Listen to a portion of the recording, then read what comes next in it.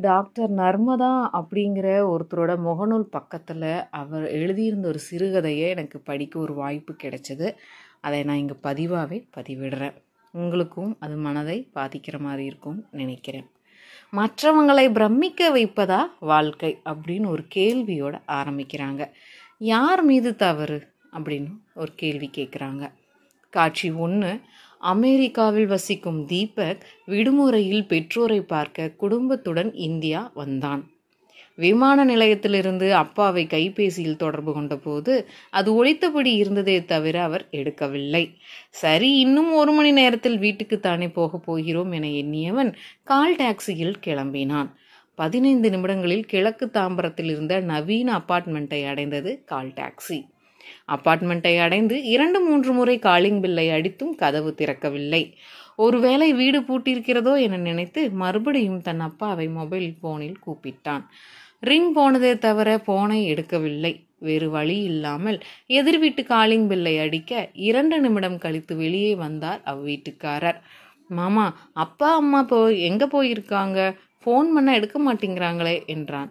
உனக்கு விஷயமே தெரியாதா? உங்க அப்பா உன்கிட்ட சொல்லவே இல்லையா? இல்லையே மாமா என்ன விஷயம்? உனக்கு தெரியாது எனக்கு ரொம்ப ஆச்சரியமா இருக்கு. உங்க அப்பாவும் அம்மாவும் முதியோர் இல்லத்துல இருக்காங்க. யாராவது வந்து கொடுக்க சொல்லி அட்ரஸ் கொடுத்துருக்காங்க. உங்க அப்பா இரு எடுத்துட்டு வரேன் சொல்லிபடி உள்ளே சென்று எடுத்து வந்து கொடுத்தார். இவர்களுக்கு என்ன ஆச்சு? எல்லா வசதிகளும் நிறைஞ்ச அப்பார்ட்மெண்ட் இருக்கையில் ஏன் முதியோர் இல்லத்தில் போய் தங்கணும் என்று குழம்பி போனான்? தேங்க்ஸ் மாமா நான் வரேன் என்று சொல்லி கிளம்பினான். அதுவரை மொபைல் ஃபோனில் பேசி கொண்டிருந்த அவன் மனைவி பிரீத்தி என்னாச்சு தீபக்? என்று கேட்டாள். என்னத்த சொல்ல முதியோர் இல்லத்தில் தங்கி இருக்காங்களாம் என்றான் கோபத்துடன். முதியோர் இல்லம்மா ஏன் வீட்டை விட்டுட்டு? என்றால் ஆச்சரியத்துடன். அப்பார்ட்மெண்ட் வளாகத்தை விட்டு வெளியே வந்து கால் டாக்ஸியில் ஏறியதும் முடிச்சூர் போப்பா என்று சொன்ன தீபக் மீண்டும் தன் அப்பாவை மொபைலில் தொடர்பு கொள்ள முயன்றான். அவர் எடுக்கவில்லை என்றதும் கோபத்தில் அவன் முகம் சூடானது. எங்கே போறோம்? என்று கேட்டாள் பிரீத்தி. அமைதி இல்லம். சொன்னவனின் குரல் அதிர்ந்தது. காரிலிருந்து இறங்கியவர்களின் கண்களில் பட்டது அமைதி ஹோம் போர்டு. மகனையும் மனைவியும் அழைத்து கொண்டு இல்லத்தின் உள்ளே சென்றான் தீபக். வரவேற்பறையில் அமர்ந்திருந்தவர் யார் நீங்க? என்ன வேணும்? என்று கேட்டார். ராமச்சந்திரன் மாலதி அம்மாளை பார்க்கணும். வேர்வை துடைத்தபடியே சொன்னான். பிரீத்தி மகனும் மொபைலில் நோண்டியபடி இருந்தார்கள். நீங்க? அவங்களோட பையன் என்றான் தயக்கத்துடன். அவனை உட்காரச் சொன்னவர் சின்ன நிகழ்ச்சி நடக்குது சார். பெரியவங்களோட நேரம் செலவழிக்கிறதுக்காக ஒரு கம்பெனியிலிருந்து வந்திருக்காங்க. கொஞ்சம் வெயிட் செய்யுங்க என்று சொல்லி உள்ளே சென்றார். சிறிது நேரத்தில் மகிழ்ச்சியுடன் அங்கு வந்தனர் தீபக்கின் பெற்றோர். வெறுப்பு கோபம் இரண்டும் சேர்ந்து அவர்களை வெறித்தவன் என்னப்பா இதெல்லாம்? என்ன நினச்சிட்டிங்க வந்தீங்க? என்றான் தீபக் அம்மாவின் குரல். சாப்பிட்ட உடனே மூச்சு வாங்குதுப்பா. இப்போ எல்லாம் ஒன்றும் முடியல என்றபடி அவன் அருகில் அவன் அம்மா அமர அம்மா முதல்ல இங்கிருந்து கிளம்புங்க. என்ன மடத்தனம் இது? என்று கர்ஜித்தான். அங்கே வந்த தீபக்கின் அப்பாவிடம் ஏன் மாமா உங்களுக்காகத்தான் நான் எல்லா வசதியும் இருக்கிற அப்பார்ட்மெண்ட் வாங்கி கொடுத்துருக்கோம். சொல்லாமல் கொள்ளாமல் நீங்கள் பாட்டுக்கு முதியோர் இல்லத்தில் வந்து தங்கிட்டீங்களே உங்கள் மகன் எவ்வளோ ஷாக் ஆயிட்டார் தெரியுமா? என்றாள் பிரீத்தி. என் மானத்தை வாங்கணும்னே இங்கே வந்து தங்கியிருக்கீங்க. ரிசப்ஷனில் இருந்தவர்கிட்ட நான் அவங்க பையனை சொல்கிறப்ப எப்படி கூனி குறுகி போயிட்டேன் தெரியுமா? உங்களுக்கு அப்பார்ட்மெண்ட்டில் வசதி குறைவுனா என்கிட்ட ஒரு வார்த்தை சொல்லியிருந்தா எவ்வளோ செலவானாலும் பரவாயில்லன்னு சொல்லி வேறு வசதியான பிளாட்டை வாங்கி அதில் உங்களை ராஜா மாதிரி தங்க வச்சுருக்க மாட்டேனா? என்றவன் அம்மாவை பார்த்து அப்பா தான் மடத்தனமாக ஏதோ சொன்னார்னா உனக்கு மூளை என்ன? வேணாமா உனக்கு? சே எதிர் பிளாட்டில் குடியிருக்கிற மாமா உனக்கு விஷயமே தெரியாதான்னு கேட்டபோது அந்த இடத்துல என்னால் நிற்கவே முடியல. உன் கோபம் புரியுதுப்பா ஆனா என்னப்பா ஆனா? கோபமாக ஆரம்பித்தவனை அமைதியாக இருக்கும்படி சைகினால் கட்டளையிட்டவர் உங்ககிட்ட சொல்லாமல் நாங்கள் இந்த முடிவை எடுத்திருக்க கூடாதுதான். ஆனால் முதல்ல ஒன்று புரிஞ்சுக்கோ. நாங்கள் இங்கே வந்தது மாற்ற முடியாத முடிவுன்னே சொல்லலாம் என்றதும் அதிர்ச்சியுடன் அப்பாவை பார்த்தான். ஆமாம் தீ தீபக். உன்கிட்ட முதல்ல ஏன் சொல்லலன்னு கேட்ட இல்லையா சொன்னால் உனக்கு புரியாது. ஒத்துக்க மாட்ட தர்க்கம் செய்வ நீ சொன்னியே அந்த அப்பார்ட்மெண்ட்டில் எங்களுக்கு என்ன குறைன்னு. வசதியில் எந்த ஒரு குறையும் இல்லை. ஆனால் எங்களால் எதிர் வீட்டுக்காரரை கூட சந்தித்து பேச முடியலங்கிறது தான் பெரிய குறை. மாதத்துக்கு ரெண்டு மூணு முறை ஹலோ சார் சௌக்கியமாக அவ்வளோதான் பேச்சு. எதிர் பிளாட்காரர் தான் இப்படின்னா மற்ற பிளாட்ல எல்லாம் யார் இருக்காங்கன்னே தெரியல. நாங்கள் கூட சில பேர் கூட பழக முயற்சி செய்தோம். யார் ஈடுபாடு காட்டினா தானே நாள் முழுக்க நாங்கள் ரெண்டு பேருமே எங்களுக்குள்ளே என்னதான்ப்பா பேசிக்கிறது? இங்கே ஏன் வந்தோன்னு கேட்டியே இங்கே எல்லாரும் எங்கள் வயசுக்காரங்க. மனமிட்டு பேசுகிறோம் சண்டை சச்சரவும் வரத்தான் செய்யும். அதுவும் வாழ்க்கைக்கு தேவைதானே? பேசி பழக மனுஷங்க இல்லாதது என்ன வாழ்க்கை? நீ வேலை கிடைச்சதுன்னு அமெரிக்கா போயிட்ட. உன்னை போகாதுன்னு சொல்ல எங்களுக்கு உரிமை இருக்கான்னு தெரியல. ஏன்னா அது உன் விருப்பம். உன் வாழ்க்கை. எங்கள் கதி? வெறும் கட்டடம் மட்டும் வாழ்க்கை ஆயிடுமா? இங்கே எங்களோட பேசி பழக நிறைய பேர் இருக்காங்க. எங்கள் மனசுக்கு நிறைவு இருக்கு.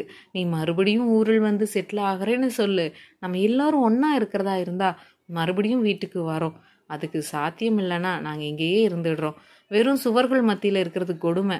அது எங்களால் முடியாதுப்பா என்றவரின் கண்கள் கலங்கி இருந்தது. தீபக் இந்த முடிவை எடுத்ததில் எனக்கு தான் பெரிய பங்கு இருக்கு என்றார் அம்மா. இங்கே எல்லோரும் கிட்டத்தட்ட எங்கள் வயசுக்காரங்கிறதுனால சிரித்து பேசி கலகலன்னு பொழுது போகுது. செங்கல் சிமெண்ட் கதவு ஜன்னல் மாடுலர் கிச்சன் ஏசி இதெல்லாம் மட்டும் வீடு இல்லைப்பா. வீடுனா அதில் மனுஷங்களும் இருக்கணும்ல. இனிமே இதுதான் எங்கள் வீடு என்றாள் அம்மா. காட்சி இரண்டு. கண்ணீரோடு நிமிர்ந்த மகன் தீபக் பேச ஆரம்பித்தான். ஏப்பா நீங்கள் திருமணத்திற்கு முன்பே நல்ல உத்தியோகத்தில் கரை கை நிறைய சம்பளம் வாங்கி அரசு வேலையில் தானே இருந்தீங்க? தாத்தா சொத்தான விவசாய நிலங்கள் வேறு நிறைய இருந்துச்சு இவ்வளவு பணத்தையும் வைத்துக்கொண்டு பின்ன ஏனப்பா ஒரே பிள்ளை போதும் நிறுத்துனீங்க? என்னோட இன்னும் ஓரிரு குழந்தைகள் பெற்று வளர்த்து படிக்க வைக்க வசதி இருந்தும் தாங்கள் ஏன் செய்யவில்லை? உங்கள் வசதியை வைத்துக்கொண்டு என்னால் இனி அண்ணன் தம்பி அக்கா தங்கைகள்னு பெற முடியுமா? யாரும் இல்லாதவனா என்னை நீங்கள் ஆக்கி விட்டீங்களே அப்பா. தாத்தா வசதி குறைவாக இருந்தாலும் ஐந்தாறு குழந்தைங்களை பெற்று உங்களை எல்லாம் நல்லா வளர்க்கவில்லையா? படிக்க வைக்கலையா? நீங்கள் எல்லாம் அண்ணன் தம்பி அக்கா தங்கைன்னு எப்படி சந்தோஷமாக இத்தனை வருஷம் இருந்தீர்கள்? உங்கள் அண்ணன் தம்பி எல்லாம் நிறைய குழந்தை குட்டிகளோட சந்தோஷமாக தானேப்பா ஊரில் இருக்காங்க? மற்றவங்க பெருசாக நினைக்கணும்னு என்னை ஹாஸ்டலில் தங்க வைத்து படிக்க வைத்து படிப்பு படிப்பு என்னை என் இளமையில் எனக்கு கிடைக்க வேண்டிய அத்தனை சந்தோஷம் இல்லாமல் செய்தீங்களே அப்பா. உங்களுக்கு பிறகு எனக்கு யாருப்பா இருக்கா? எனக்கு நல்ல வேலை கிடைச்சதும் அங்கே போனால் உனக்கு உங்களுக்கு துரோகம் செய்கிறோமா என்று என்னை என் மனசாட்சி தினம் தினம் கொள்றது உங்களுக்கு தெரியுமாப்பா அங்கேயும் வந்து தங்க மாட்டேங்கிறீங்க என் மனைவி அவள் வீட்டில் அவளும் ஒரே பொண்ணு. அவன் அப்பா அம்மாவுக்கு உங்களை போன்றதான் நிலை. என்னை போன்றே அவளும் அவங்க அப்பா அம்மாவை வயதான காலத்தில் பக்கத்தில் வைத்து பாதுகாக்க முடியலையே என்ற கவலை.